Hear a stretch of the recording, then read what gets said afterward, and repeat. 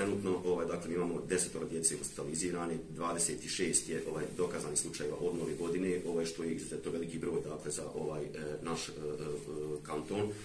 Sva su djeca 100% nevakcinisana, čak bi se moglo reći da ovaj, ne, ne, ne samo djeca, nego ovaj, ima tu znači, i starih pacijenata koji idu znači, i, ovaj, do, do, do nekih 28-30 godina ovaj, niko od njih nije primio niti jednu dozu vakcine. Ovaj, ovim putem bih želio da pozovem eh, dakle, sve eh, roditelje prvenstveno koji odlučuju vakcinaciji svoje djece eh, da ne slušaju dezinformacije, dakle da se ne vode i neprovjerenim informacijama, nego ako već hoće neke informacije da pitaju nas stručnjake ili puno nas dakle, koji vam možemo dati adekvatne podatke u vezi toga, da se djeca podvrgnu vakcinama. Svi smo mi evo ljekari, sva naša djeca su eh, eh vakcinisana i samim tim smo svoje djecu zaštitili od ove bolesti.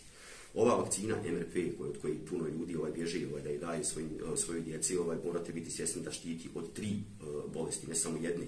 Štiti od morbila, štiti od rubeole i štiti od pertusisa. Vakcina je izuzetno, izuzetno sigurna. Vakcina je prošla dakle sve stroge kontrole kako europske, znači tako i naše ovaj, eh, bosansko-hercegovačke eh, agencije za lijekove vakcina eh, se daje već godinama da, od provjerenog proizvođača, tako da nemate razloga da budete zabrinuti ovaj, što se tiče generalnog porijekla, eh, kvaliteta vakcine i tako dalje.